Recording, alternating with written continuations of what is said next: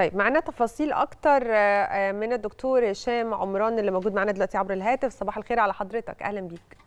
السلام عليكم ورحمة الله وبركاته. أهلا بيكم. وعليكم السلام. مبروك أول حاجة. بنبارك لك على الفوز بالجائزه ويعني دايما كده بنحب إن إحنا نسلط الضوء على يمكن المصريين اللي بيفوزوا دايما بجوائز عالمية عشان يدوا زي انسبريشن كده أو إلهام لناس تانية يمكن بيتفرجوا علينا دلوقتي.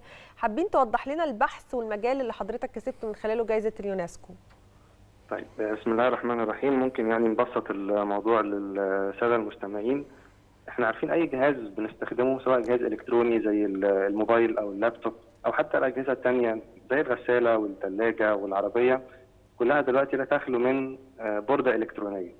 تبقى بوردة كده لونها أخضر والبوردة دي بيبقى عليها مربعات سوداء المربعات السوداء دي هي اللي إحنا بنسميها الدوائر المتكاملة أو رقائق السيليكون أو بالإنجليزي ال semiconductor chips أو ال silicon chips دي دي الشيبس اللي كان فيها مشكلة الفترة اللي فاتت في إنتاجها ولا لا؟ أيوه بالظبط كده. دي اللي كانت عاملة قلق على مستوى العالم وكانت أدت لتوقف مصانع كتيرة جدا منها مصانع عربيات عملاقة. بسبب إن العربية كلها واقفة على semiconductor chip ممكن يكون سعرها بسيط جدا يعني 10 أو 20 دولار بس موقفة مصنع كامل وموقفة إنتاج بملايين ومليارات. كلمة سيمي كوندكتورز أو أشباه الموصلات لأن المواد اللي بنصنع منها الدوائر المتكاملة بتكون ولا هي موصلة زي مثلا النحاس والالومنيوم والمعادن بصفة عامة ولا هي عازلة للكهرباء. زي الخشب مثلا والإزاز لا بيبقى ليها قدرة توصيل مختلفة عن العوازل ومختلفة عن الموصلات فبنسميها أشباه الموصلات أو semiconductors عشان كده بنسمي الصناعة دي بصفة عامة صناعة الإيه؟ ال semiconductors أو صناعة أشباه الموصلات. الأبحاث بتاعتي الحمد لله كانت بتتركز في كيفية أتمتة تصميم أتمتة يعني نخلي العملية عملية أوتوماتيكية. أوتوماتيكية بتتم عن طريق برمجيات كمبيوتر. فزي يبقى في أتمتة لتصميم أجزاء معينة من الدوائر المتكاملة. كان تصميمها في الطرق العادية التقليدية بيستغرق وقت طويل ومجهود كبير وخبرة عالية. فازاي إن إحنا نقلل الوقت ده ونقلل التكلفة نخلي برمجات الكمبيوتر تساعدنا في عملية التصميم عشان نوصل لكفاءة أعلى في الدوائر المتكاملة بتاعتنا. وده مع وقت أقل وتكلفة أقل في نفس الوقت. ووصلنا لده فعلا وتم الفوز بجائزة الفوزان الدولية التابعة لليونسكو. عايز تقول هو طبعا يعني الفوز بالجائزة ده مم. يعني رقم واحد توفيق من ربنا سبحانه وتعالى لأن زي ما حضرتك عارف أي جائزة من الجوائز الدولية بيكون فيها عدد كبير جدا من المتقدمين. ولجنه التحكيم وضحت إن اختيار الفائزين طبعا كان عملية بالغة الصعوبة وكان في متقدمين كتير أو مرشحين في الحقيقة كتير. متميزين. فده الحمد لله يعني فضل من ربنا. و... ويمكن برضو من الحاجات اللي كانت ساعدت ملف الترشيح إن لجنه التحكيم ما كانتش فقط بتدور على أبحاث كانت برضو بتدور على أبحاث يكون ليها تطبيق تطبيق في الواقع يخدم الايه يخدم الصناعة أو يخدم المجتمع. و... ويكون في برضو مساهمة في نشر العلم. بالنسبة للأجيال القادمة. بحيث إن إحنا يبقى عندنا كوادر في المجالات التكنولوجية والصناعية المختلفة. طب وإحنا لما هنعمل الاتمته دي يا دكتور إحنا كده هل إحنا هنساعد على سبيل المثال في حل أزمة أشباه الموصلات الموجودة عالميا فيما يتعلق لو أنا عملتها بشكل أوتوماتيكي هل أنا مش هحتاج أعمل ال hardware بما إن هي بقت software؟ لا طبعا هو الأزمة اللي كانت موجودة في في العالم كانت أزمة تصنيع أزمة تصنيع ال hardware نفسه مش لاقيين الشيبس لأن هي تصنيع تصنيع أشباه الموصلات عملية مكلفة جدا عشان تنشئ مصنع يصنع أشباه موصلات تحتاج استثمارات بمليارات الدولارات. ومحتاجة معادن مش سهل تلاقيها. وهي هي المعادن مش هي المشكلة قد ما الخبرات والتكنولوجيا في الحقيقة بتكون هي المشكلة. ودي حاجة بتتصارع عليها دلوقتي الدول على مستوى العالم. يعني الصين مع أمريكا مع أوروبا هم حاليا بيتصارعوا إن هم عايزين يوطنوا الصناعة دي تبقى موجودة عندهم.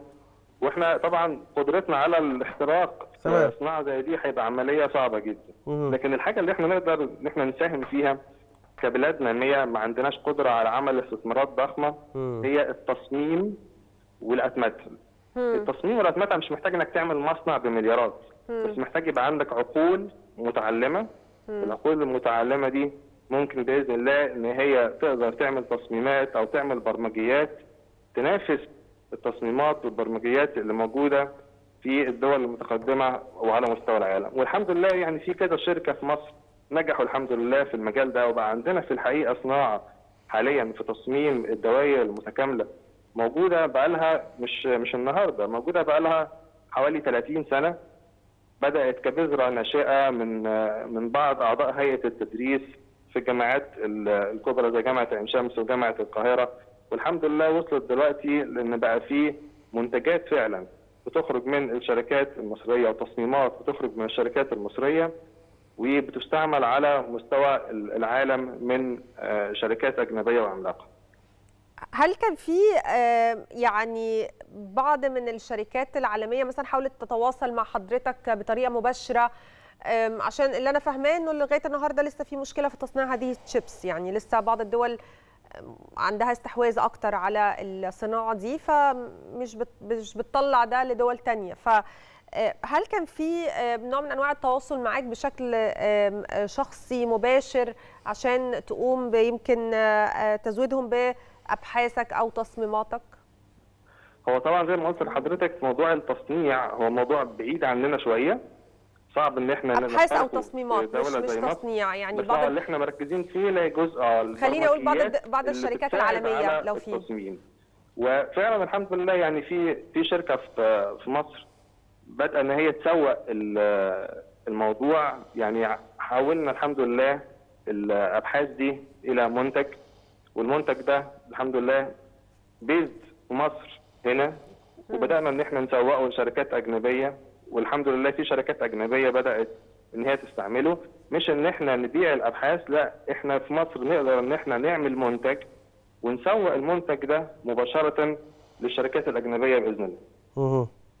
و هنقدر نلاقي الكوادر دي المشكلة ولا؟ ما هي دي بقى الحمد لله الحاجة اللي إيه اللي ربنا وفقنا ليها م. ودي كانت برضه من أسباب اختيار الايه الجائزه بتوفيق ربنا. ان هي كان في الجائزه لجنة التحكيم مش مجرد بيدوروا على أبحاث بيدوروا على بناء الكوادر ودي الحمد لله حاجة إحنا شغالين فيها بقالنا يعني خمس أو ست سنين بالذات بالتعاون مع معهد تكنولوجيا المعلومات اللي هو تابع لوزارة الاتصالات إزاي إن إحنا نسد الفجوة ما بين الدراسة الأكاديمية وسوق العمل ونعمل برامج تدريبية متخصصة تخلي الشباب متخرج وهو عنده المهارات والكفاءات اللي سوق العمل محتاجها بحيث إن إحنا نقدر إن إحنا ننمي الصناعة دي في مصر بإذن الله.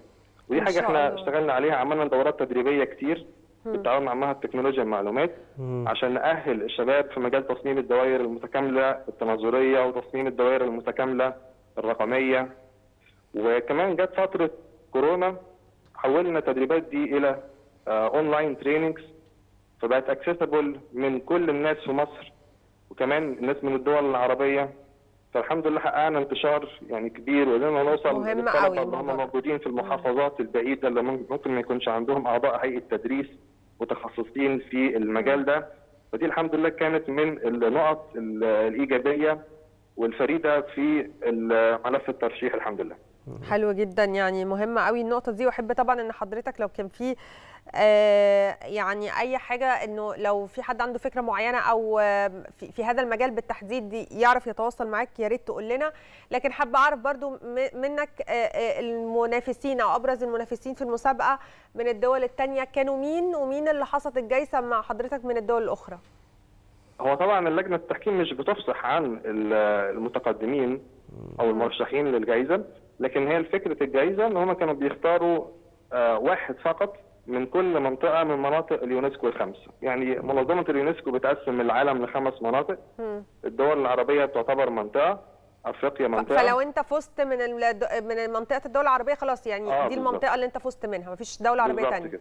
أوكي بالظبط طب استكمالا لقصة إن إحنا نعمل ده هياخد وقت قد إيه يا باشمهندس؟ أنا بقول لحضرتك الحمد لله الصناعة عندنا موجودة بس هي لسه ما وصلتش لدرجة الريادة إن إحنا نبقى مركز فعلا آه. لصناعة وتصميم الإلكترونيات. الصناعة موجودة بقى لها 30 سنة. بتكبر شوية شوية. أكيد محتاجة دعم سواء دعم من الحكومة دعم من رجال الأعمال. بس عشان نعمل الأتمتة اللي حضرتك قلت عليها إن إحنا نخلي الأشباه دي أوتوماتيكية آه بالشكل اللي حضرتك بتتكلم فيه أكيد محتاجة وقت. يعني محتاجة سنتين ثلاثة خمسة. تقديرك آه الشخصي. المشروع المشروع اللي إحنا مشروع قومي. عليه مشروع البحثي بتاعنا اللي هو تحول الحمد لله إلى منتج.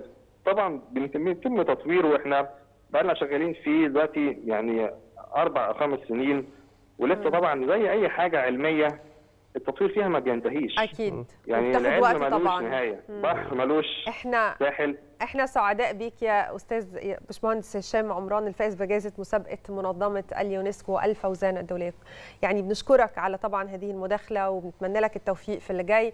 وإحنا متابعينك وبندعمك وأكيد هتلاقي الدعم من أكيد رجال اعمال أو آه كمان آه مؤسسات معنية بهذا المجال. صح.